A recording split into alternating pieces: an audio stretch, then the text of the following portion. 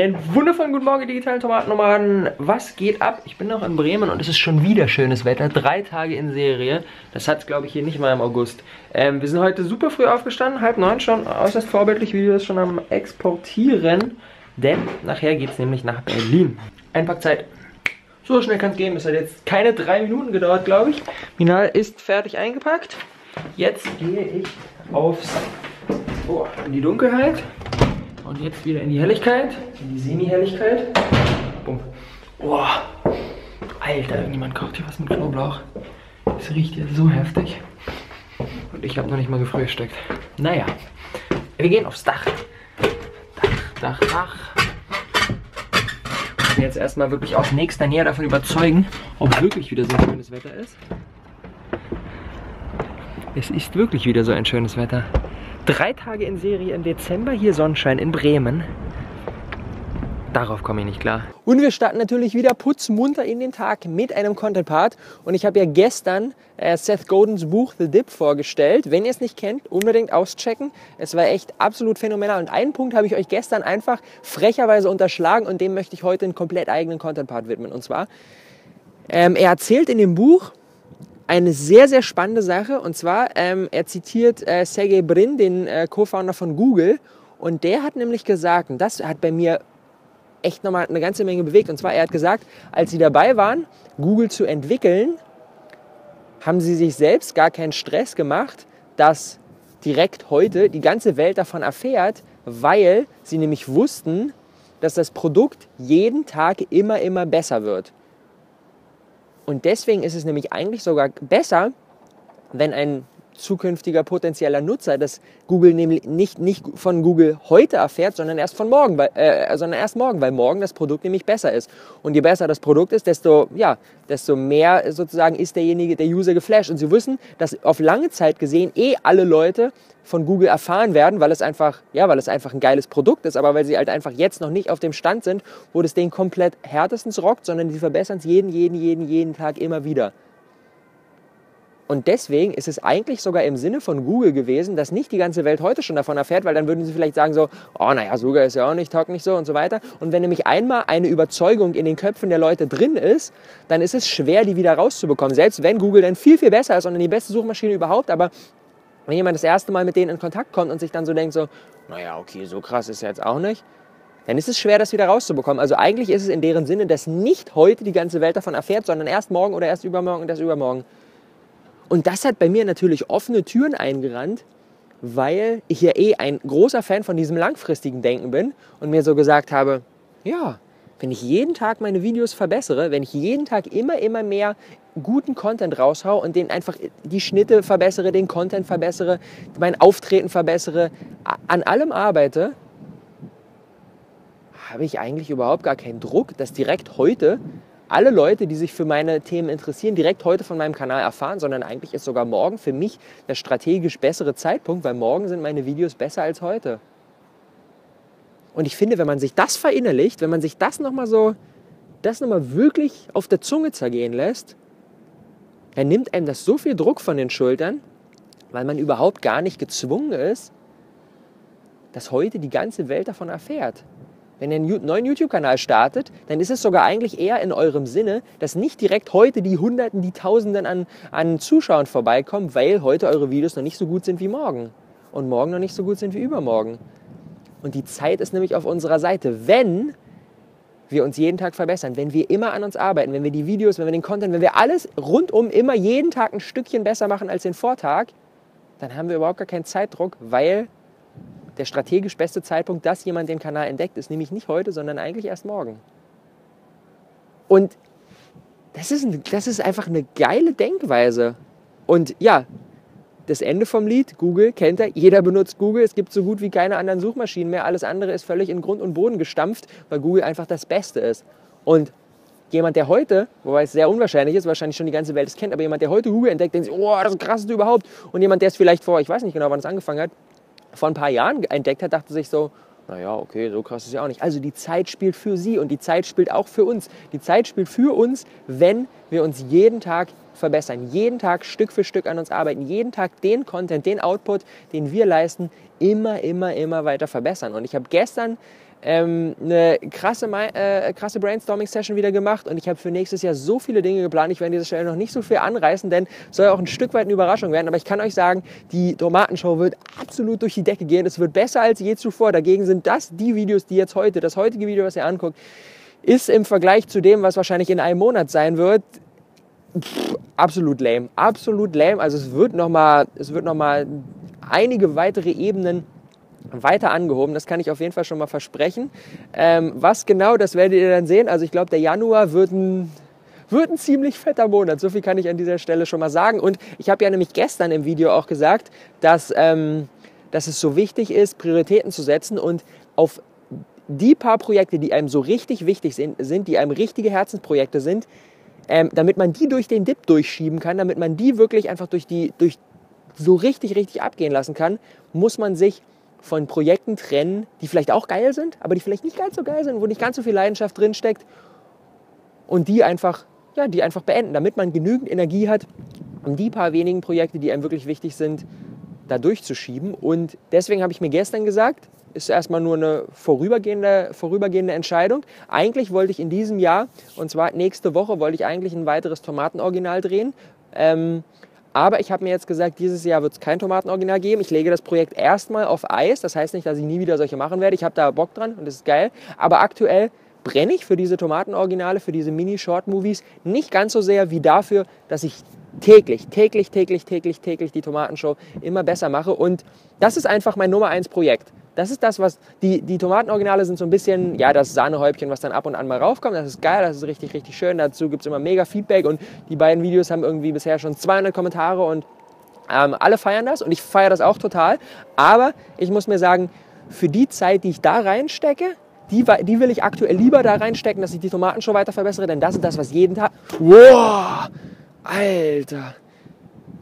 Jetzt ist hier durch den Wind einfach die Kamera nach vorne gekippt. Gut, dass ich das Stativ so aufgestellt habe und dass es nicht nach hinten gekippt ist, denn das hätte unangenehm werden können. Hier alle, die ein bisschen unter, die nicht schwindelfrei sind, hätten jetzt wegschauen können, äh, sollen. Ähm, das ist mein oberstes Ziel, die Tomatenshow weiter zu verbessern. Und deswegen stecke ich gerade meine komplette Energie da rein und kann euch schon mal sagen, in den nächsten Wochen und Monaten geht da äußerst viel aber die Quintessenz ist, wenn wir täglich an uns arbeiten, wenn wir uns immer weiter verbessern, dann spielt die Zeit für uns und dann müssen wir nicht. Das soll natürlich nicht heißen, dass wir jetzt einfach da sitzen und sagen, nö, soll ja jetzt keiner kommen, ich will die Videos einfach für niemanden machen. Wir sollten natürlich trotzdem neue Leute anziehen, denn wenn sie niemand guckt, dann haben wir auch nichts gekonnt. Aber wir müssen nicht, wir müssen uns nicht diesen Druck machen, das halte ich hier lieber mal fest, wir müssen uns nicht diesen Druck machen, dass direkt heute alle Leute von unserem Kanal erfahren, weil er morgen besser ist als heute und übermorgen besser ist als morgen und überübermorgen besser ist als übermorgen.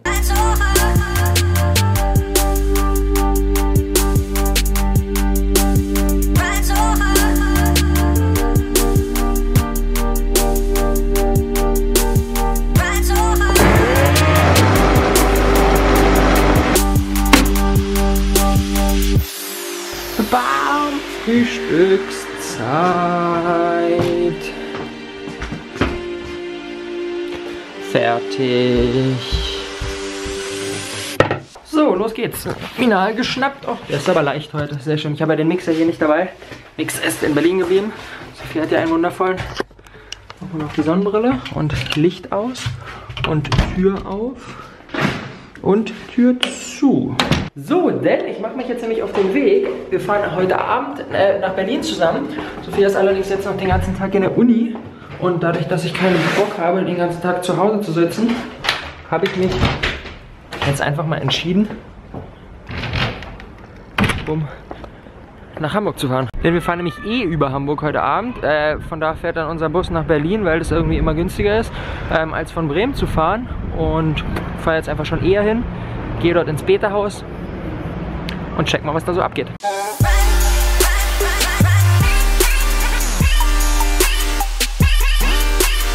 Sind wir wieder. Bremer Hauptbahnhof, immer wieder schön zu sehen. Ob der Bus schon da ist oder ob er mal wieder zu spät kommt. Die Strecke Bremen-Hamburg ist immer, immer, oh, da stehen drei Busse in einer Reihe. Irgendeiner von denen wird doch sicherlich meiner sein. Nö, doch nicht.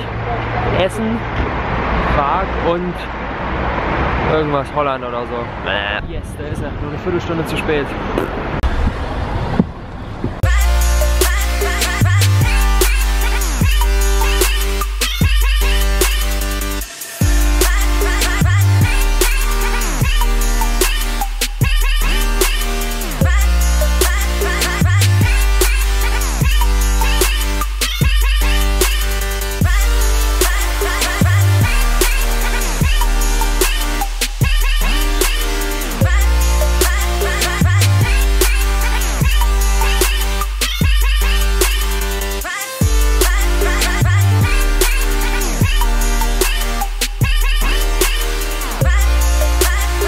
Auf jeden Fall smooth gefahren, alles gut funktioniert, bisschen geworkt nebenbei.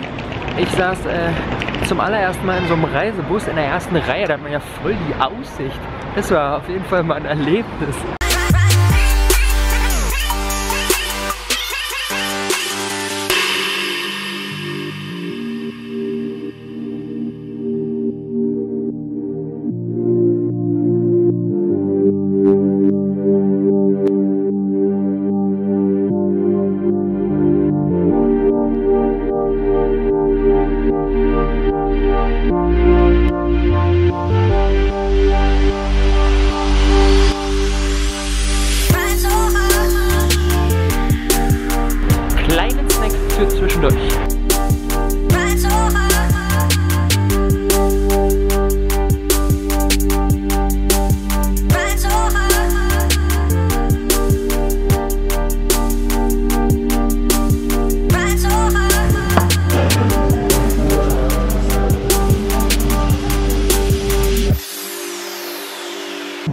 Hamburg ist auf jeden Fall echt der Hammer. Ich habe mir gerade den Tee geholt und war kurz auf Toilette. Das Video ist schon zwei Drittel hochgeladen.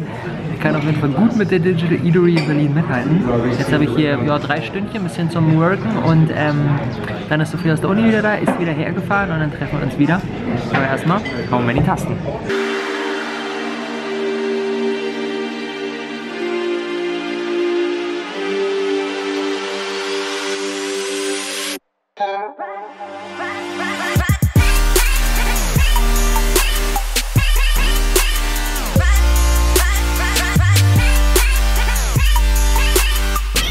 Jetzt ist um sieben, Arbeitstag ist beendet und jetzt kommt das Highlight des Tages. Gerade mit Sophia telefoniert, sie ist auch gerade angekommen, ähm, war den ganzen Tag in der Uni und ähm, jetzt treffen wir uns gleich in der U-Bahn. Ich steige in ihre ein, muss jetzt ein bisschen mich beeilen, dass ich die kriege.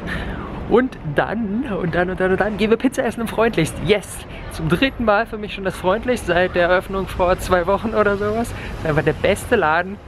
Philipp treffen, leckere Pizza essen. Herrlich.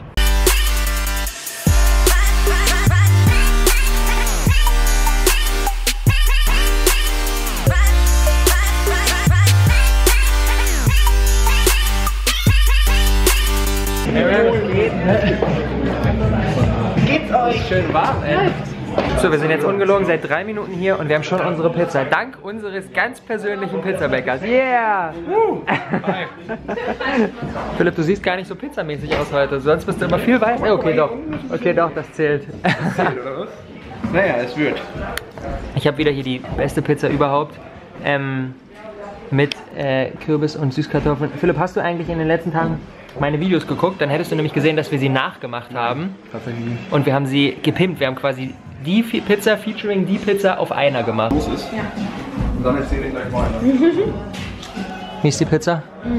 Rockt sie so hart wie unsere? Auf jeden Fall. Das war ein kurzes Vergnügen. Pizza ist leer. Wir müssen jetzt auch schon wieder los, denn der Bus nach Berlin kommt gleich. Ciao.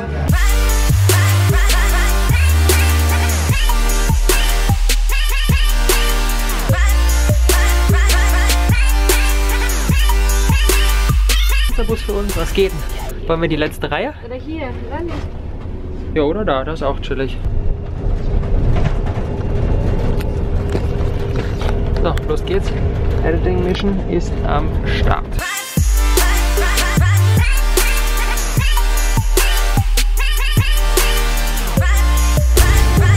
So ein Tag ohne Bustoilettenszene natürlich nicht komplett ist, outroen wir die ganze Geschichte. Hier ist jetzt schon 10. Ich habe gerade schon die erste Hälfte des Videos fertig geschnitten und ich bin, ich bin doch ein bisschen stolz auf mich auf jeden Fall, was ich bisher so gemacht habe. Das ist immer geil, wenn ich mir viel Zeit nehme für den Edit, wie hier. Fahren jetzt drei Stunden nach Berlin, ich habe alle Zeit der Welt.